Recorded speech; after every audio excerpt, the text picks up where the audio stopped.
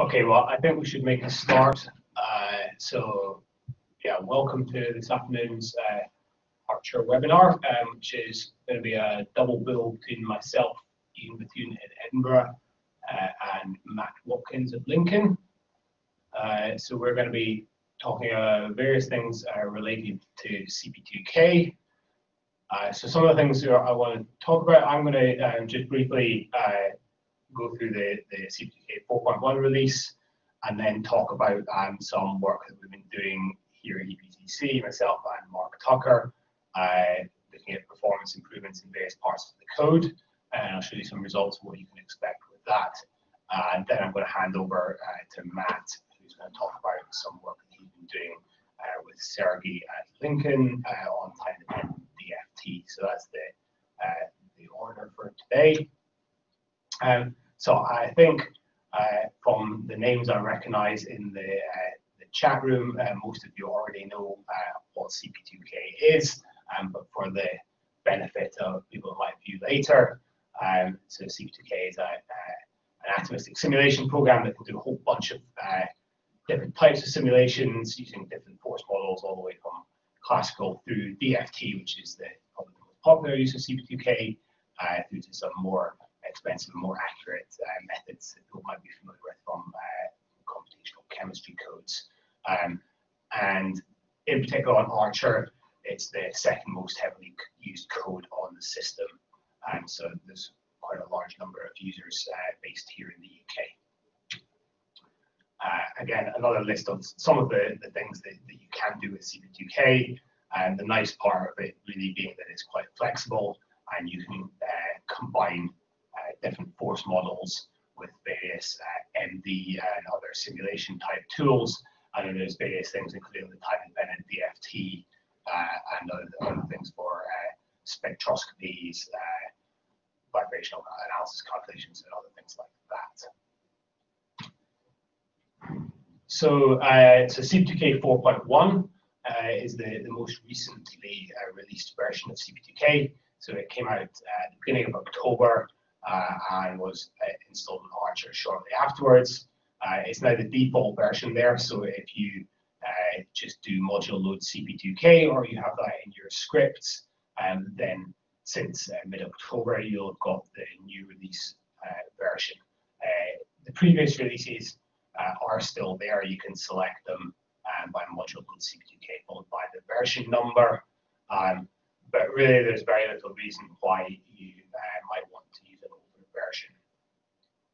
Uh, some of the things uh, which are, are new in 4.1, uh, there is quite a, a number of, uh, of small features. Uh, the link there to the version history page on the CP2K website will give you all of them, um, some of the more interesting ones. Uh, so there is a, a, population analysis tool called Modified Atomic Orbitals, which was recently implemented in the code that's there. Uh, there is an interface to a separate code called Omen for doing uh, transport or quantum transport calculations. Uh, so this is the uh, the implementation which was uh, nominated for or submitted for a Gordon Bell Award at last year's supercomputing conference. Uh, there's a number of uh, improvements to the linear scaling DFT code. Uh, so there's the polarized atomic orbitals method, uh, and also a new optimizer called, uh, called curvy steps. Um, so if you use the linear scaling DFT and you want to try some of those things, uh, there is a cubic scaling implementation of the random phase approximation. Uh, so this is a highly expensive uh, but accurate uh, method for approximating electronic correlation energies. there have been various improvements, I would say ongoing improvements still to the the k-points code, which is a reasonably recent function uh, added to CP2K. Um, so if you do want to try out using k-point uh, k-points to calculations, then I would suggest going to this uh, FAQ page on the website, and that will give you the latest in terms of what's implemented and what's not. Um, and if you find things are not working in that area of the code, um, then please you know, post to the uh, CP2K mailing list um, and should get an answer as to what's not working or if you find a bug, hopefully it can get fixed. Uh, one of the other major sort of bits of functionality that's in the 4.1 release uh, is the time-dependent DFT, um, which Matt's going to talk all about later on. Um, alongside that, there's a whole bunch of uh, bug fixes, and um, most of the performance improvements I'm about to talk about are also in the 4.1 release. Uh, so I would recommend um, move forward to using it if you're not already doing so. Uh, a couple of other bits of information. Uh, I hope many of you have already seen uh, via various mailing lists and the, the uh, 2017 edition of the CP2K user group meeting uh, will be on the 9th of January. So it's quite early in the year, um, and it's also up in Edinburgh this year, uh, as opposed to previous years, so it's been hosted in London. Uh, Jürg from Zurich is coming over uh, to give the, uh, the keynote talk there, but there'll also be a number of other talks uh, on particular applications of CP2K um, and some talks on particular uh, methods. So the focus on giving you useful information about how to use the code rather than uh, telling you what people have done with it. And as in previous years, which I think has been quite popular, uh, there'll be the opportunity to be able to give uh, three-minute lightning talks about their work as well. So uh, I suggest uh, you look that up, and if you're able to come, please register, and there's travel funding available for people um, in order to help you get up to Edinburgh. Uh, also worth saying that um, there is still uh, opportunity to do uh, to get uh, your hands-on CP2K training um, uh, from myself or other people involved in CP2K. Um, so many groups around the UK have already benefited from that. We've gone down and run sort of one day or two day workshops with them. Um, if that's something that's of interest to you, um, drop me an email and we can sort something out.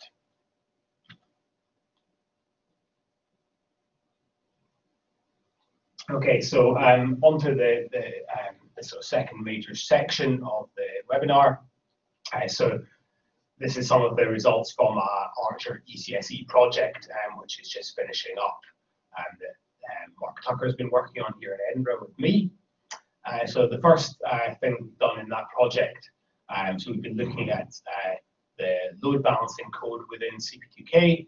Uh, so this is uh, particularly load balancing of the operations on the real space grids. Uh, so this is a, a, key step in the, the Gaussian plane waves method um, where you uh, take Gaussian functions and write them out onto, uh, onto distributed real space grids ready for FFT and the, the, plane wave part of the calculation and then also the inverse.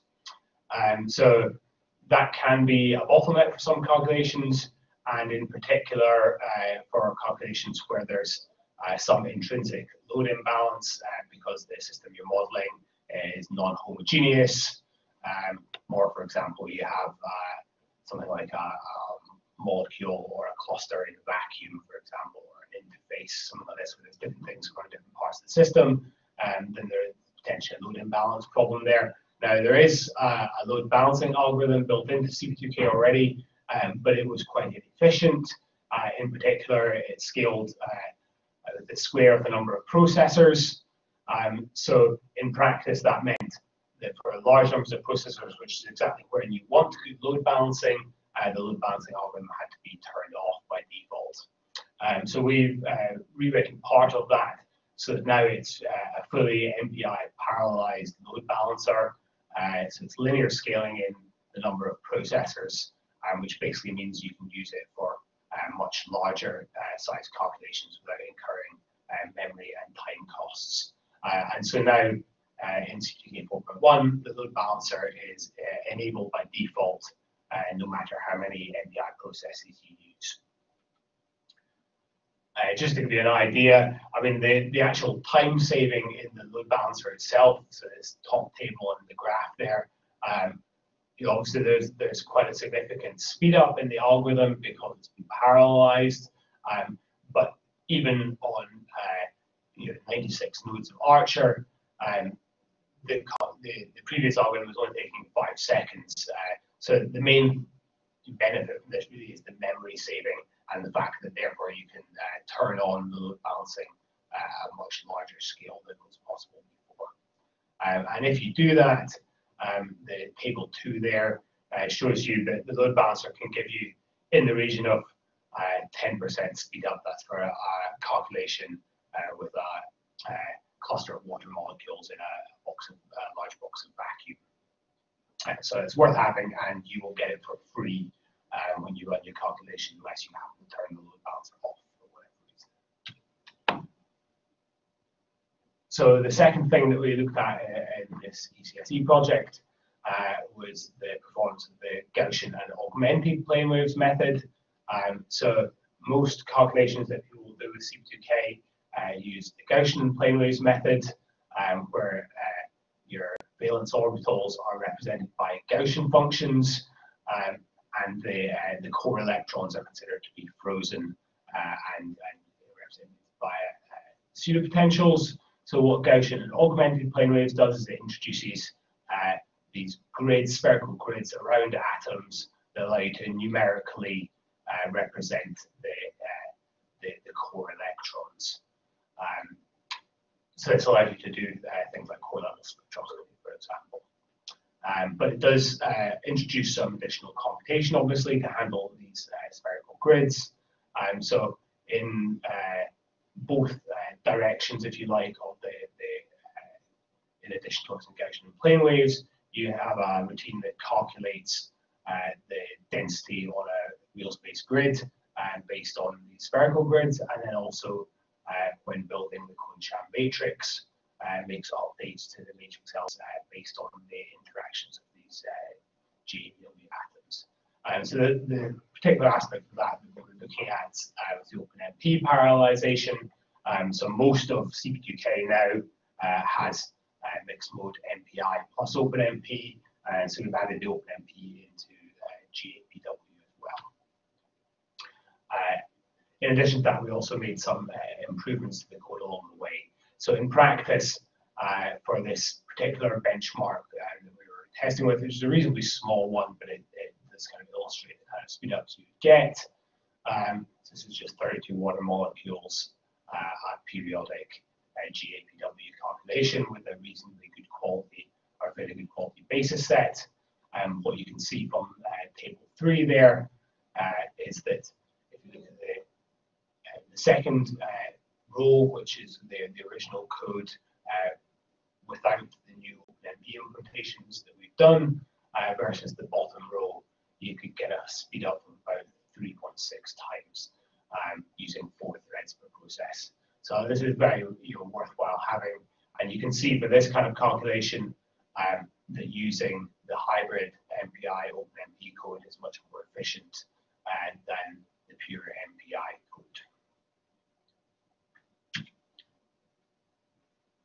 Another part of the code also where the uh, OpenMP was not present was in these uh, dispersion corrections. Uh, so density functionals, uh, or local density functionals do a poor job of capturing uh, uh, dispersion interactions. And so there are a bunch of uh, popular corrections, as the Grimme type pair potential corrections, and then also a, a bunch of non-local van der Waals type corrections, um, which are important for a whole range of, of different systems.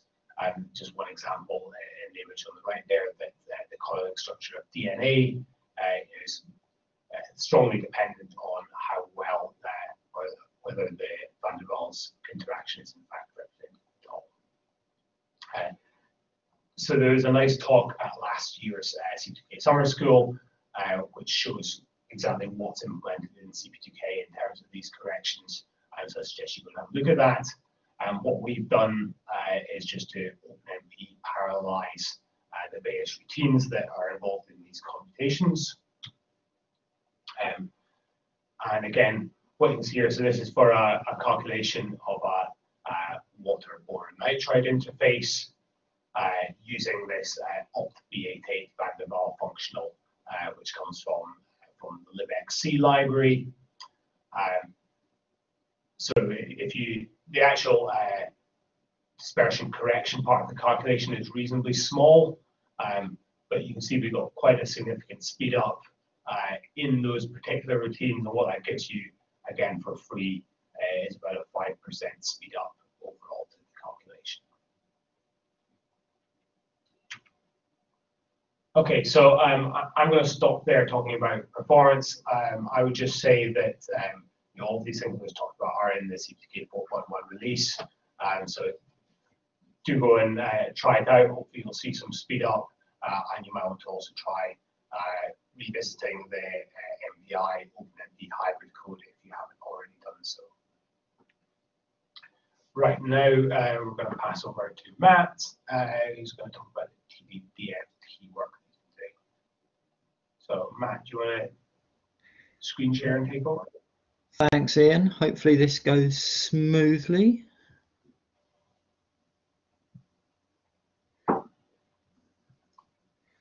How is that? Is that Yeah, looks good to me. Hi, hi everyone. Uh, I'm Matt Watkins. Uh, so I want to talk just a little bit about this um, uh, mainly time-dependent DFT, but um, generally uh, a little bit of stuff about excited states that is now available in CP2K. Uh, uh, as I say, I'm, I'm Matt Watkins, but really Sergey Chulkov is the guy. Um, I've seen he's just joined, so he's available if anyone's got any questions for him. Um, who did all the work on this? Uh, he's done a very good job. Um, just a, a, tiny advertisement. We're at Lincoln.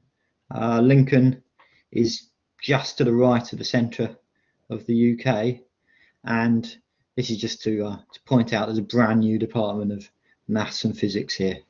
Um, and hopefully we're going to start doing some nice computational stuff.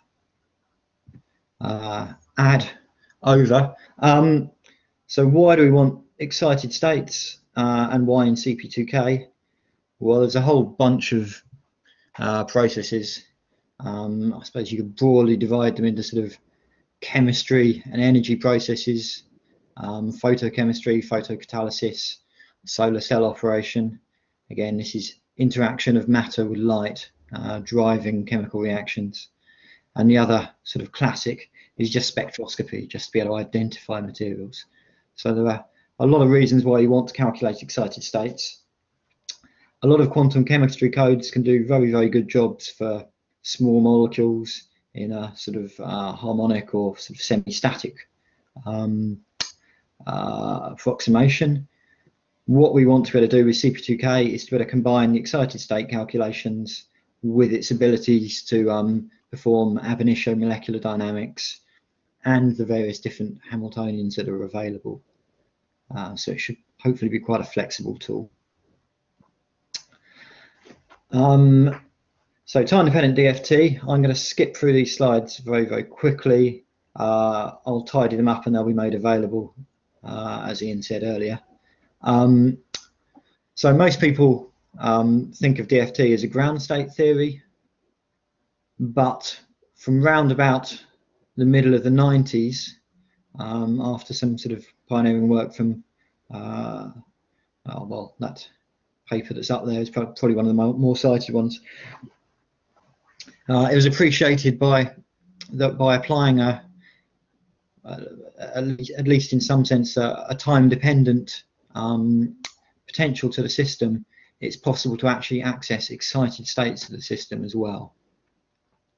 Um, actually, people have been doing this for a long time, maybe even back into the 70s, but it wasn't until this uh, this paper and this reformulation of it as a, a linear response that looked very similar to time-dependent Hartree-Fock theory or to um, some configuration configuration interaction singles, which was familiar to quantum chemists.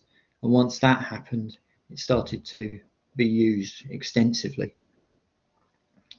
Um, I'm going to give just a couple of slides on the theory, but really you're better off uh, going uh, to a textbook or the main uh, original papers on this or a variety of reviews. But essentially, instead of the um, non-time dependent uh, Kohn-Sham equations, we'll set up some time-dependent Kohn-Sham equations, uh, and they can be solved in two very different ways. One is a linear response approximation, so we have a small uh, time varying uh, electric field applied to the system, causes a linear response, and then you can uh, solve for the, um, uh, the perturbed states of the system, which are the excitation modes of the, uh, the system. There's another different way of doing things, which is so-called real-time propagation, where you explicitly just um, integrate the wave in time um, going forwards. Uh, both methods are available in CP2K. The real-time propagation has been uh, implemented in Joost VandeVondele's group in Zurich, but we've uh, been working on the linear response, and this is mainly what I'll talk about now. Um, again, I don't want to go in this. What I want to say is that though it's a bit more complicated uh, with time-dependent DFT, the formalism is is more involved. It has quite strong sort of similarities in flavour to the ground state.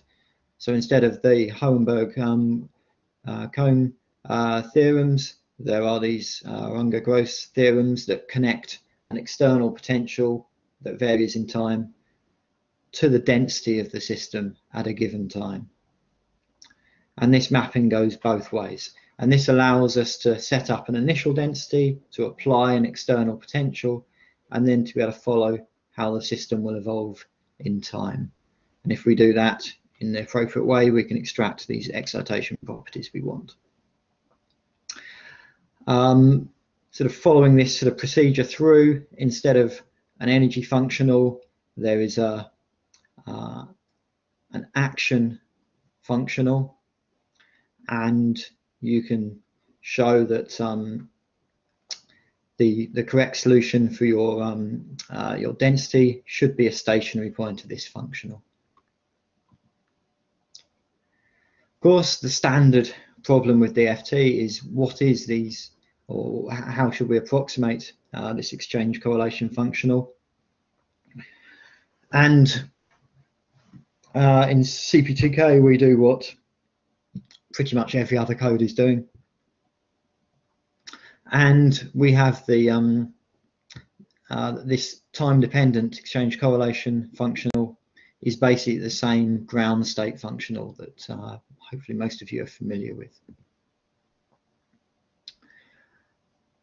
Uh, and so this, this approximation uh, goes even a little bit further so we just say at any given time, the exchange correlation um, uh, potential that electrons feel uh, is our standard DFT exchange uh, potential evaluated at a given time with the density at that time.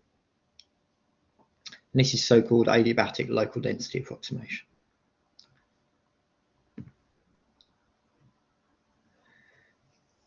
So th these are the sort of the general um, differential equations, and then there's a standard sort of um, recipe that goes very uh, much along the same lines as ground state DFT. Uh, we have an approximate uh, non-interacting system. We introduce one electron orbitals. Uh, we expand the density in uh, these one electron orbitals. Um, and proceed in this way, and then we get the time-dependent Kohn-Sham equations. And then to finally get a computational scheme, what we need to do is introduce not just these orbitals, but actual basis functions for these orbitals. In CP2K, the time-dependent DFT, the linear response part of it, works similarly to the ground state. So again, we're using mainly as a primary basis set, a set of Gaussian functions. Uh, so these are the basis functions, but we also use an auxiliary um, plane wave basis set for various bits and pieces. Um, so now when we have an excitation in the system, when we apply a, an external field, there'll be some response in the density. And what we expand the density, this response density as um, the product of uh, some function that is a, a, linear combination of the unoccupied states of the ground state system So it's some linear combination of the LUMOs of the system. And each of these combinations um, of the LUMOs is multiplied by um, a wave function uh, that is occupied in the ground state. And effectively this gives us single determinant excitations. So the um, the whole state, the, the occupied state that's left behind, uh, multiplied by something that's some linear combination of LUMOs, which is the state that the electron's gone into. So this, this form, a linear combination of these type of orbitals, essentially a linear combination of single determinant excitations. And so typically um, the excitations are going to look more or less just like a single determinant and then there'll be a few extra um, excitations, so a few more of these types of pairs um, added in which give effective orbital relaxation. And again, all this stuff can be plugged in and we come out with matrix equations that look similar um, to the ground state, uh, um, uh, the ground state solutions. And what we'll come out with is some set of coefficients that um, uh, correspond uh, to what these combination of LUMOs will be. And these give us the um, effectively the excited states of the system that we can then use to calculate oscillator strengths and intensities. Um, this is just sort of general theory. How do we actually use um, this in CP2K? Well, if we look um, at these equations, so I'm not going to go into details, but just the actual main terms that are there. For a, a standard GGA type functional, there's essentially two terms here that um, that, that, come in that modify the, the, the transition energies from those of just the uh, the the single electron orbital energies. Uh, there's one which uh, so this red term here, which is a sort of a Coulomb interaction um, uh, of uh, the, the of, of this transition density. Um, but it's, it's, it's a weird mixture. It's, it's not a Coulomb interaction of the electron and the hole. It's this density here is is half the electron and half the hole, whereas in the, the Coulomb interaction, which we'll see in a second, you've got um, psi squared of the hole and psi squared of the electron. So there's a there's sort of a weird Coulomb, a weird sort of exchange looking interaction. Um, and then there's this so-called um, uh, also another kernel term, which is essentially the second derivatives of the exchange correlation term. In CP2K, both of these terms are evaluated on the real space grids.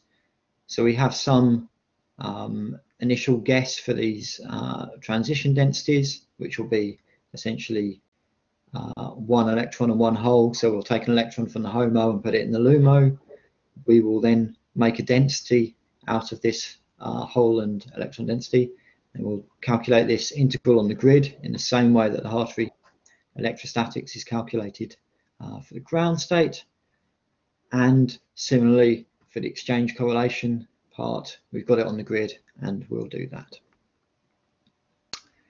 This is uh, the standard um, uh, uh, time dependent DFT thing for a, a, GGA. This was previously present um, in CP2K, but we've re-implemented it in a, in a, slightly nicer way to our mind. Now, this term uh, originates from the, the Coulomb interaction in the exchange correlation functional, and this term originates from the exchange correlation bit, the the, the pure density functional exchange correlation bit. If we move on to having um, a hybrid density functional, as well as these terms, we get an additional term, which is some proportion of uh, hybrid, as in Hartree-Fock exact exchange, So this is sort of a just a symbolic way of expressing this. Um, and we scale down the amount of the exchange correlation from the pure GGA that goes in there. And this green term, when you actually write it out, looks like this Coulomb interaction. It's the um, essentially a density of an electron in the whole state and a density of a different electron in uh, in, in one of these um, uh, other states. And so effectively, because we've got some fraction of it, this looks like a Coulomb interaction screened by some uh, effective dielectric function. And this being a Coulomb type interaction it's long ranged and it interacts um, in sort of all systems and it gives us some uh, interactions even for sort of charge transfer states and so on. So this was physically a very important uh, uh, thing to have present in our system and this is what's been added in.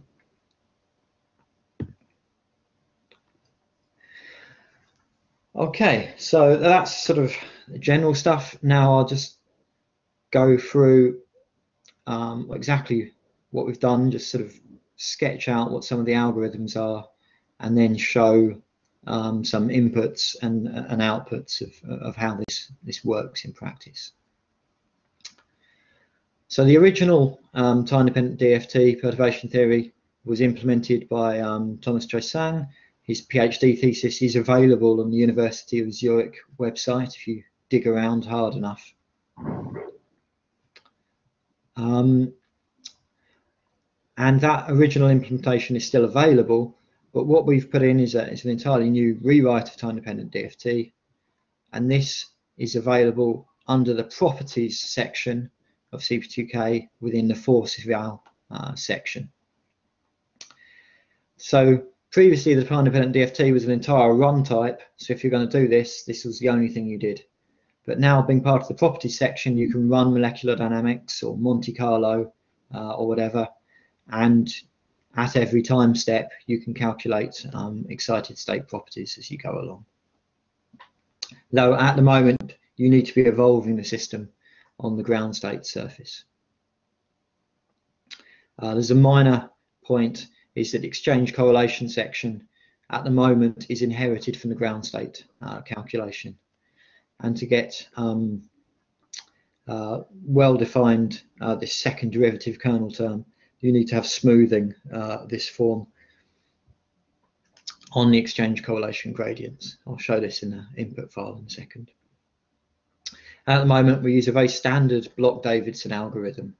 So the, the number of um, possible excited states is the number of occupied orbitals uh, times uh, the number of unoccupied um, orbitals. So that grows very rapidly with the system size. So we can't fully diagonalize um, all the excited states. So we use this Davidson algorithm. Um, to say, uh, there's, there's, a uh, point, um, well, I've, I've written out later on, but there's several um, uh, regression tests in TESS, Quickstep, and then time-dependent DFT uh, 2. But um, essentially this linear response should be almost black box like. Uh, relatively few things to enter compared to many things in CP2K. So you add this properties section and uh, essentially apart from that properties section the rest of your input file should look more or less um, like a standard uh, CP2K input. So properties, time-dependent DFT, the number of excited states that you want to solve for, maximum number of iterations of this Davidson to try and find these um, excited state eigenvectors and values. Uh, the convergence criteria, so this is the largest change um, in uh, in the transition energies of any of the uh, excitations that you're calculating. The only uh, input variable here that's a little bit obscure is this orthogonal EPS, which is Um, we're still having a little play around with to find a good default setting for this. But this, this is a setting that ensures that the transition density remains um, orthogonal um, to the ground state. If, um, if we find that um, one of the excited states doesn't satisfy this criteria, um, we don't restart from scratch, but we, we rebuild the state just to get rid of any numerical noise that's, that's built up. There's one more keyword here. There's sort of a repetition of the uh, the the, uh, the, the plane wave uh, settings that are in the ground state. Um, so we find, and it's it's been found in various other bits, that for, for this application you can have a much smaller cutoff than you would for the ground state calculation. Essentially, because we're normally most of these transitions are from near the HOMO and near the LUMO and these states tend to be rather smooth compared to sort of the core-like states a lot deeper. So you can get away with a much smaller plane wave cutoff. So you can have a separate setting for the, um, the multi-grids here. And so this this um, this evaluation of the uh, the Coulomb term, which uh, comes from the GGA, and the the, uh, the exchange correlation second derivative term, benefit from this um, this reduction. Both of those terms, I should say, are like the ground state Kohn-Sham build, and they're fully linear scaling. And apart from that, we just need to specify the exchange correlation functional. Uh, here we've got PBE0, we've got this smoothing uh, on the grid for the derivatives. Um, and, and that's that's about it really. Um, hopefully it should just work. Um, for those of you that have run, I don't know, Gaussian or something like that GAMESS, the output should look fairly familiar. If you've got print level uh, to, I think just low, essentially after the ground state convergence, it will say starting the time dependent calculation, then there's the steps of the Davidson algorithm, um, timing for the step, the convergence of the, um, uh, so this is change in energy of the um, uh, least converged um, uh, excited state and which ones have satisfied the um, convergence criteria. Oh. And once it converges, you should get an output that looks more or less like this. You should see um, the state, so the number, uh, the excitation energy, uh, so the, it's got slightly mangled the columns here. There's a, a transition dipole, so you can see in which uh, directions there's a transition dipole. And then there's a total oscillator strength uh, for the different transitions. So again, this oscillator strength is something new that we've added in. Um, this is calculated using the velocity or momentum operator. And so it's not fully tested, but it should work um, uh, for periodic systems. And so after this um, uh, bit summarizing the, the energies and the transition energies, there's another thing which breaks down um, what the transitions are. So in this case, you can see the first transition is from orbital 6 to orbital 7, so HOMO to LUMO. This one was uh, forbidden uh, for this formaldehyde. Um, and yeah, so this is the main thing. And this excitation amplitude, I think it's the square of the uh, um, coefficient of this single determinant in the in, in the wave function. So the, the sum of these um, these no they're just, just the amplitude. So the sum of the squares of these should become essentially one. Um, and you can control what the cutoff is, the threshold for printing these out. There's a few more examples you can find in this reg test time dependent DFT uh, 2. Um, I'm probably going on uh, for quite some time, but I say we're also when you're doing this, it's quite important to be able to visualize the orbitals. Um, essentially, there's, there's two options in CP2K. There is um, the molecular orbital cubes within the print section that give you a, a, a, sort of Gaussian cube file of the molecular orbitals that can view. Um, or we've just put in, uh, Iain and I very recently, you can output from the SCF section molecular orbitals in the Molden format. So you get a single Molden file which contains all of the wave functions that you can then visualize uh, within, well, I'm doing it in VMD, there's an orbital orientation, you can just flick through those, or indeed you can use Molden. Uh, this is important so you can go back through, you can see which transitions are which, you can analyze um, what's going on. And so this is sort of a, a summary of that. Um, so we have extended to the hybrid functionals. So we can now use really quite a wide range of functionals with this time-dependent DFT.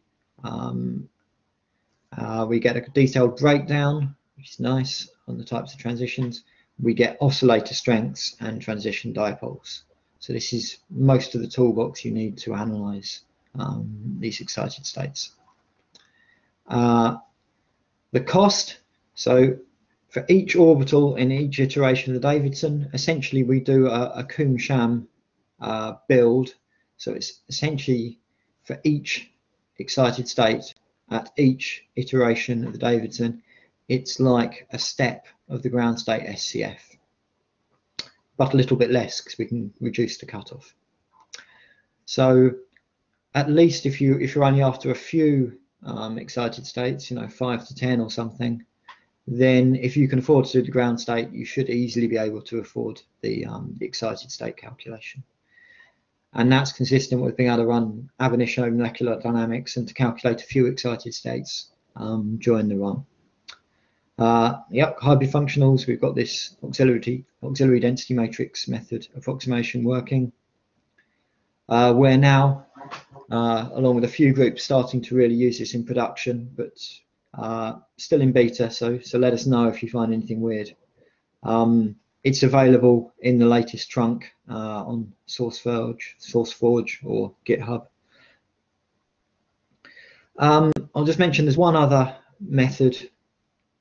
We've also implemented the so-called maximum overlap method, um, which is a delta SCF method rather than sort of configuration interaction.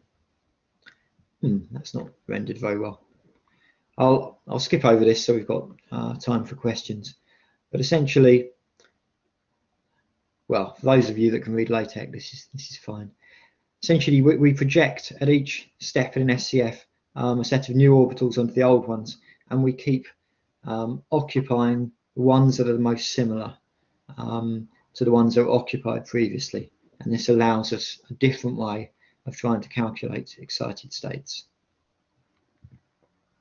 Um, the nice thing about this method, um, it's sort of a complement to the time-dependent DFT. If you find a single determinant, essentially excitation, you can do this. You can excite up into that to get a single determinant, um, relax it, hopefully, and then we have forces available um, for those um, for, for these states. So that, that's the only way available at the moment um, within uh, this linear response to get forces. If you use real-time propagation, which is a different way, then there are Ehrenfest um, forces available. But we've got a proposal in to do excited state forces, so hopefully that will come through. Um, thanks for listening to me. Uh, wander on. It's a little bit strange for me being sat in my spare room talking to people. I, I hope it's made some sense. Big thanks to Joost VandeVondele, wherever he may be now, uh, to Jürg, Alex, all CP2K developers, and for the Archer people. Um, I think we've got some time left, so hopefully I've not been talking um, just to myself. So um, if you've got any questions, please either chat away or um, stick on microphones or whatever. Thanks a lot.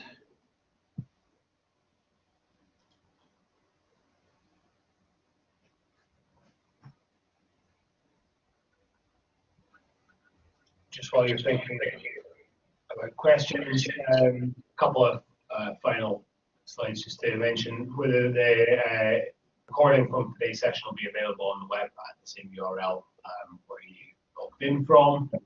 Um, and there's various other Archer related training materials around that area of the web as well. Um, so we'll stick around to answer some questions. And there is a, a, a, feedback form, which would be very useful if you could fill in um, uh, well, what's fresh in mind. Um, that would be great. Right, I'll stop talking and let Matt and others talk.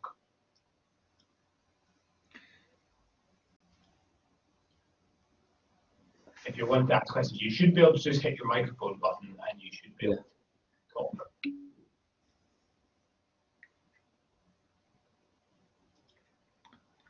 Uh, yeah, so K points are being developed continuously. Um, I think we did we did update the, the stuff on the website um, about K point in the FAQ. Yeah, I, I, think I'm just looking at the web page. It says it's been possible to carry out K point calculations since CP2K 3.0, and then the the list below is supposed to capture the current state. I could I'll, I'll maybe clarify that a little bit. Uh, yeah.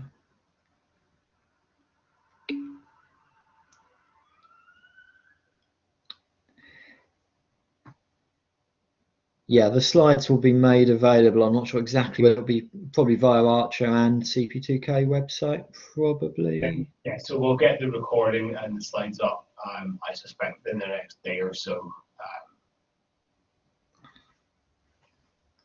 so they'll be linked off the Archer page the CP2K. Thanks, Claire. Yep.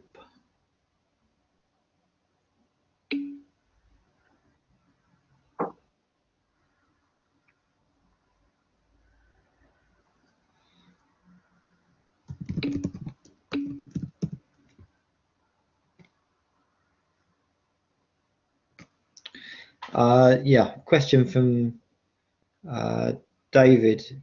Yeah, I, I, didn't go into much detail.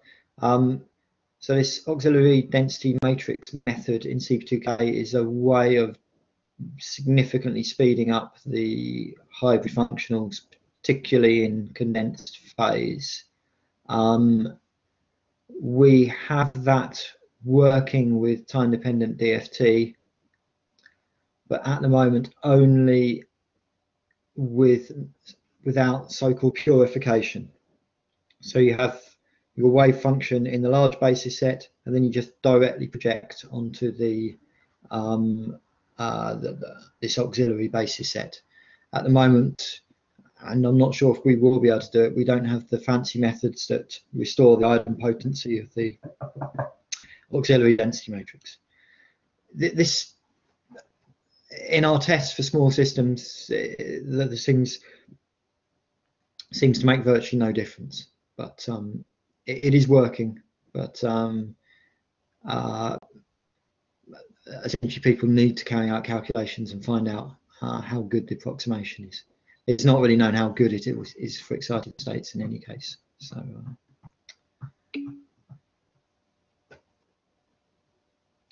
yeah, give us a shout. We're happy to sort of help getting that going. Um, again, sh everything should be working for periodic systems, but not very heavily tested at the moment. So any feedback, either yes, it works sensibly or things look dodgy. Um, uh, yeah, just get in, get in, get in touch, and we're happy to uh, help out as much as we can.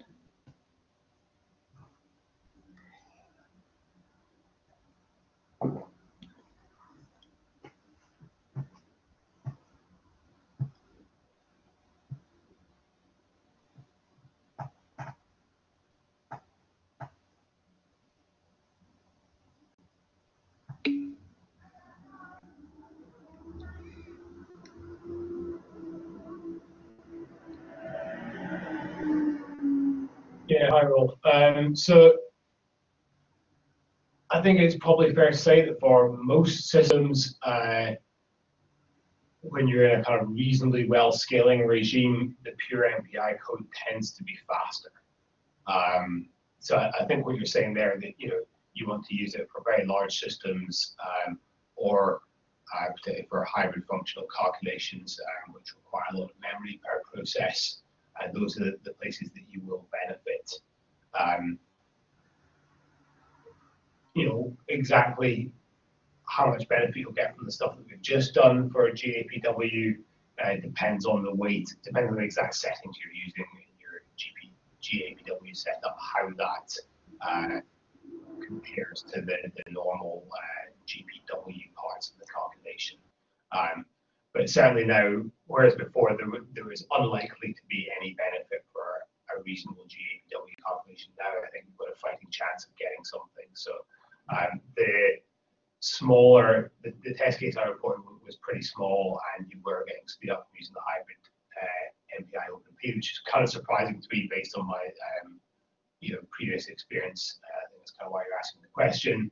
Um, but yeah, you, you should definitely see benefit also for large systems.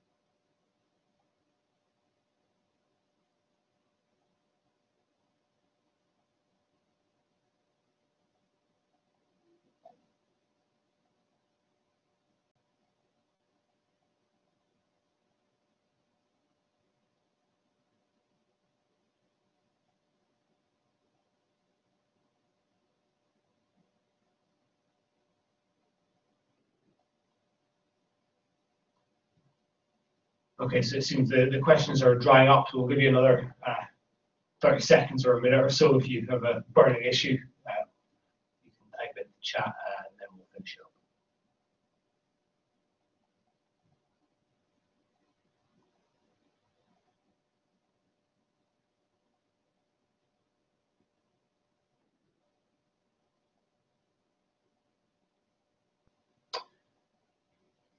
Yeah, so you're talking about the user group meeting. So a couple of people have emailed me um, to say they, they can't make the meeting mostly because they're not based in the UK. Um, so I'm going to see what we could do in terms of recording the talks or possibly even uh, live streaming them. Um, and I need to follow that up a bit. Hopefully we can do something.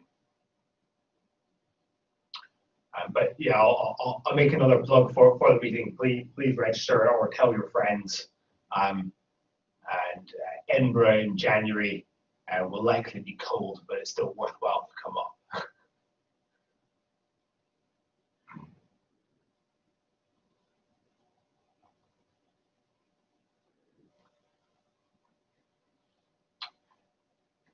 Hi, Rolf. Um, yeah, so Intel compiler and CP2K. Um, so we still have the slightly unfortunate situation um, compared to uh, G-Fortran, uh, where CP2K is used as a regression test of the compiler, so therefore nothing breaks from release to release. Um, with Intel, generally when they come out with a new release, we test them, we find bugs, and we report them. Um, so the current status at the moment, we're running uh, the automated regression test service for CP2K using Intel 17.0. Uh, there are a couple of files um, which you need to compile at lower optimization, um, but mostly everything is okay. It's certainly much better than the situation was with Intel, say, uh, two, three, four years ago. Um, so what I say, if you are wanting to use iFort, uh, check the, uh, the CP2K dashboard to get a latest working Arch file. Um, but I would also say in practice, uh, there is very little difference uh, in performance between uh, G-Fortran compiled binary and uh, an iFort compiled binary, because uh, most of the performance dependent parts are now in external libraries uh, or in your, your system math libraries. so it's not such a big issue, I think, as it used to be. Um, yeah, let's finish up there.